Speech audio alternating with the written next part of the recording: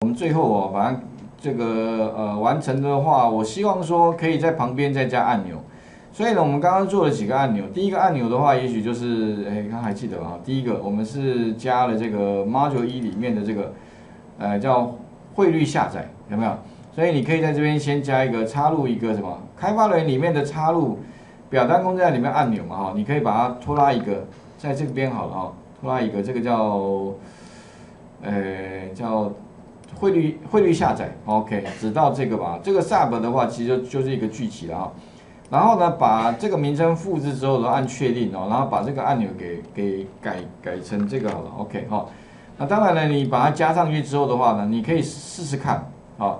那当然你可以跑跑看啊，不过按下去之后的话，你会发现哦，它会有一个问题，什么问题呢？它按下去应该会重新帮你跑跑这个资料，可是各位还记得吧哈？刚刚我们在汇率下载的时候哦，这个日期哈原来是没有斜线的。哎，那我们怎么有斜线啊？因为我们插入一个栏位有没有？把它加了斜线，再把它贴回去。可是如果你今天执行这个汇率下载，按一下有没有？你会发现它重新跑了哦。这边资料有没有更新？有更新的。但是它会怎么做呢？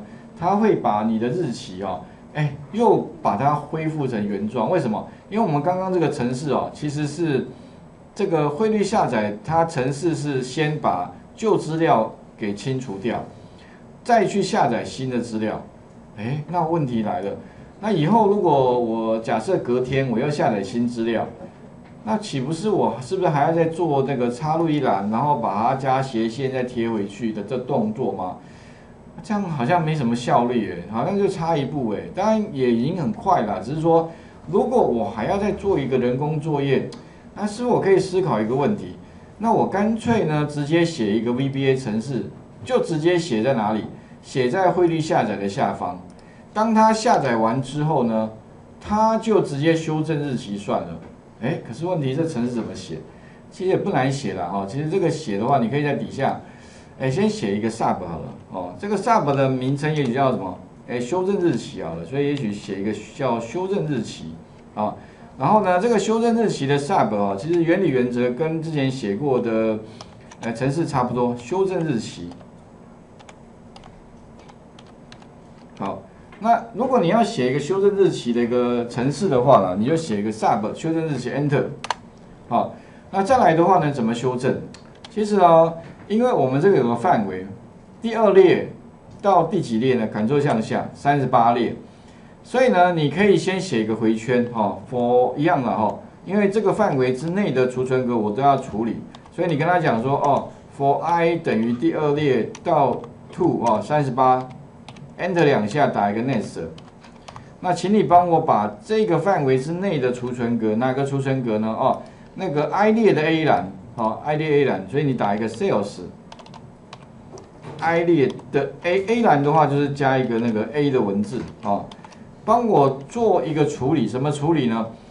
就是把前面四个字切出来，串一个斜线，然后再串这两呃中间两个字，再串一个斜线，再串尾巴的两个字。OK，哎，其实逻辑跟刚刚的那个公式蛮像的，差别只是说把它写在 VBA 里啊。所以哦，写的方法我们把它换一个地方哈，那一样了哈，就是 left，所以你这边打一个 left。left 的话呢，你请你帮我把这个储存格，哎，这个储存格的话就这个，这个储存格里面的资料哈，取前四个，OK 好，然后呢空一格 end 空一格啊，特别注意啊，因为 VBA 里面的 end 前后一定要空白，它有点像是那个英英文里面的那个字跟字中间一定要空白的意思啊，然后 end 一个斜线，所以这边加一个斜线，然后再 end 什么呢？一样 mid 前刮弧。那再把什么呢？这个资料，这个资料指的就这个啦，所以你可以拿这个来复制 sales i 列的 A 栏，好，要哪一个字？第五个字，取几个字？取两个字。那这个是月嘛，哈，可以跟刚刚一样，然后再串一个斜线，你可以拿这个来复制啦，因为一样的哈，串一个斜线，然后再串，再加上那个右最右边的，所以 right，然后一样是这个储存格。里面的后面两个字啊 right 这个储存格里面的两个字，嗯，这样就 OK 了哈。那他会帮我把它串完一个新规则之后呢，再把新的有斜线的资料呢，把它丢回到它这个储存格的地方啊。可是你说老师，那原来不是有资料吗？对，它会把它盖过去，所以盖过去的资料就是有斜线的。那我们来试一下啊，如果写完之后按 F 八，哦，不要一行啊一行跑了，这样比较比较可以看到细节哈。那你可以看到，当 i 等于一的时候哦，啊当啊等从二二二开始啊，然后呢指的是这个储存格。那所以我把它串完之后丢过来，你会发现这个跑完的结果啊，有没有发现这个储存格就有斜线了？OK 啊，其他以此类推啦，所以执行一下。哦啊，最后好像有个问题，什么问题？它这个宽，这个有个紧致啊，这个宽度不足，所以哦，你可以在最下面多写一个叫，呃，A 栏帮我调整一下，自动调整栏宽哈，所以叫 column C O L U M N S Colours 指的就是栏的物件哈，然后呢，帮我做什么？帮我自动调整一下栏宽，所以 A 栏。那自动调整就 auto fit 啊，所以你就打一个 auto auto fit，OK 啊，这样的话就自动调栏宽。那执行，诶，这个就可能要先重重跑一下汇率下载好了，好重跑，让它可以先抓新资料，然后再帮我做修正日期，哎，有没有？它刚刚会栏宽不足，不过因为加了这一行，它栏宽就没有不足问题，而且格式也修好了。那最后当然呢，如果我希望两个汇率下载完之后自动修正日期的话，那很简单嘛，你可以把修正日期的这个名称放这边，然后加一个 call 就可以了。call 的话就是呼叫了啊，意思说帮我汇率下载之后呢，顺便呢也帮我修正一下日期，哎，执行看看啊，看刚刚应该没有没有哦，现在有没有？哎，有了，现在全部帮你修正好了，不然的话你可能中间又少一个了哈，所以。最后呢，我们又加上修正日期啊，记得哦，加在哪里？汇率下载的这个地方，哦，把它扣一下。那这一段的话，基本上在哪里啊？其实我云端白板上面其实也有哦，在这边，你们往上找，在这里，应该是云端白板上面的第五页地方哦，就这一段了。差别只是说我这边是写成向下追踪的啊，当然你可以改成那个了哈，向下追踪。或者你改成三十八，但是我是建议哈，最好是要追踪，为什么？因为明天的汇率又会多一个，它的数量绝对不一样哦。所以如果你今天写成固定的，将下个明天后天可能又会需要改成是，所以最好是改成向下追踪的方式啊哈。啊，不过今天我们先先啊，如果你有时间的话，你把它改一个那个向下追踪的方式哈。好，那做做完之后的话呢哈，我们就可以。啊，做完第一个啦，汇率下载。那再来其他的话，就是我的习惯是把这个按钮复制一下哦，然后再分别产生什么？产生那个美元折线图啊。这个的话改成叫美元折线图好了，OK。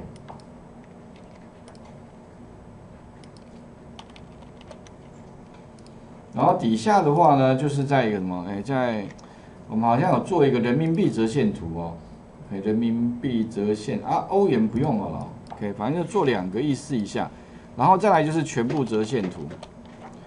那当然了，如果你假设要画按钮，我是建议啦，我的习惯是直接拿上面来贴，再来按右键重新改。为什么？因为按钮会一模一样大，你就不用再去管说它的大小要会不会调的一模一样哈。然后最后这边就是在一个什么全部折线图，然后把它改一下全部折线图。然后呢，最后一个哈就是。复制再贴一个，最后的话就是，哎，就是指定它是删图好了，OK。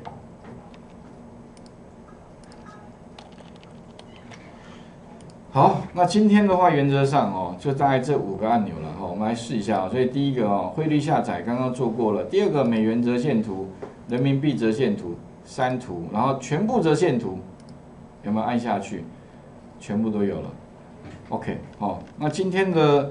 部分哈，主要都是在，呃，撰写程式啦。当然这个是还蛮好用的。那将来的话呢，哈，我是希望你们那个其中报告的部分哦，就是多增加一些有关那个，呃，这个这个 VBA 城市的自动化部分哦。所以请各位看看，或者甚至你可以再换一个那个资料吧，哈，把那个只要是 CSV 啦，其实都可以同样的方式，你把它抓下来，然后呢，每一个每一个把它画一个图出来，哎，感觉其实就蛮，就是蛮直，你更马上可以做一些这个这个呃资料的判断的啦。我觉得就不需要说你还在看原始资料哈，这个当然不太好解析的这个问题哈。所以请各位试试看哦，把今天的这个练习哦，把它完试着完成啊。啊，如果还有时间的话了哦，也许可以想想看吧。如果假设你不要。放那个从上到下只有一栏，你希望两栏的话，左边、右边各一个。哎，先美元在人民币本来放下面，那如果我希望把它放右边，一个左一个右，一个左一个右，有没有？哎，这样感觉好像可以放更多。不然的话，你还要卷动到下面，你说光看图就花的时间反而还没更没。如果你希望可以放两个啦，当然你说要放三个可不可以？也可以啦，哈。一二三，一二三，一二三，哦，同样的道理，你要一二三四也可以啦，OK，哦，所以请各位这个部分呢，可以试着延伸去思考。那后面其实我都有答案啊，如果你想假设想要知道的话，哦，那其他当然呢，你除了说可以放在同一个工作表之外，哦，你其实也可以放不同工作表。也许你可以比如在新一个工作表，然后把资料放在前面，啊啊，放在左边的工作表。然后呢，图放在右边的工作表，哎，那不是可以切来切去的？好，OK，试试看哈。